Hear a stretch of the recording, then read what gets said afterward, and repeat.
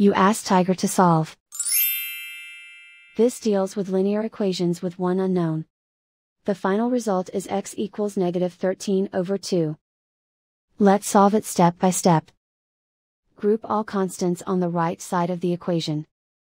Subtract 9 from both sides. Simplify the arithmetic.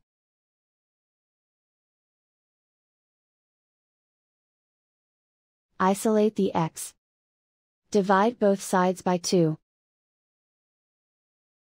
Simplify the fraction.